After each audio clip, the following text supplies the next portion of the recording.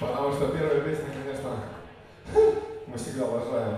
В общем, да, звук, э, чуваки, гитару надо вынимать. Меня на сцене практически не слышно ни хрена. Я глухой просто немножко. Вот такая тема. Поэтому я теряюсь, и вокал как бы тоже проебывается. В общем, а, да.